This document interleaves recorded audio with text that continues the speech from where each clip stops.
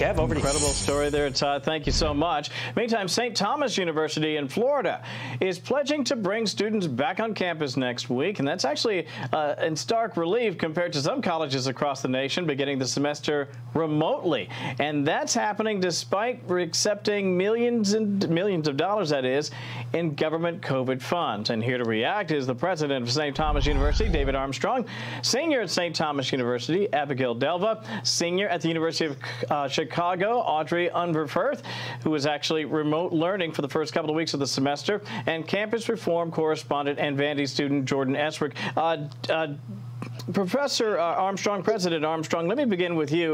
Um, I, I, have to say, as someone who lived in South Florida, I'm familiar with your university. It is very well regarded, and I'm sure a lot of the students, and to say nothing of the faculty, appreciate the fact that you're making sure that the optimal education is happening by having students back on campus. Absolutely, Kevin. Thanks for having us on. And uh, from the beginning of the pandemic, we made a decision at St. Thomas University to make decisions for our students we were not going to make decisions based on the panic, political, or the timid. We were going to make decisions on what was best to give our students a full collegiate experience while keeping our most vulnerable safe. And with the support of the federal government, we've been able to purchase things and uh, chemical biocides, saltwater biocides to help clean the campus and move forward to make sure that we give a full collegiate experience. Athletically, residence life, student activities, and it's one of the reasons why we've set three straight years of record enrollment in our largest and strongest class in the history of the law school this year. I was going to say, and a stellar law school to boot. Let me uh, bring you into the conversation. Abigail, listen, I think it's uh, anyone's uh, joy to get out there and see the palm trees, but, you know, sometimes it does actually help, I imagine, having the interactivity, not just with professors, but also with your fellow students. Tell me what that's like for you.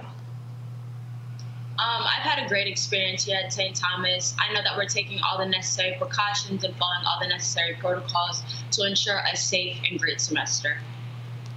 Meanwhile, Audrey, uh, uh, you're actually, unfortunately, doing remote learning for the first couple of weeks uh, up in uh, Chicago. Listen, I get it. Sometimes you this sort of thing happens, uh, but I'm sure you'd like to get back out there and see your fellow students. How are you handling uh, that remote learning circumstance? Absolutely. Well, I wish the University of Chicago were similarly following the science. It's honestly a little bit embarrassing that we're going back into more COVID theater, more Zoom university, which is a lousy substitute for in person, real education. There's just no excuse for it anymore.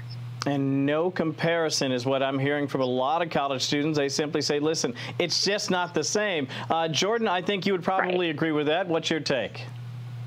Yeah, absolutely. I mean, at Vanderbilt, we've effectively been uh, locked down uh, in the beginning of school. I can't leave my dorm room uh, to go to the library to eat at the dining hall. If I go to my synagogue and my friends go to mass, we could be suspended. We could be expelled. We'd have to go through a disciplinary process.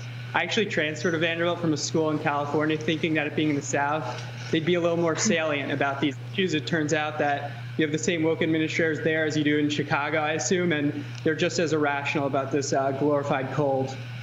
Well, I can tell you're a smart student if you got into Vandy. Before we go, I want to share for the folks at home the colleges that received some of this government money. And we're talking about massive amounts of money to ensure the educational experience to get students back on campus. Yale, Duke, Temple, UW up in Seattle, Vandy, you just heard uh, mentioned there, and even down at the U, $41 million. David Armstrong, Abigail Delva, Audrey Unverferth, and Jordan Esrig. We really appreciate you guys getting up up early for us and spending time as we continue to unpack what could be a very interesting semester for you all. Thank you again.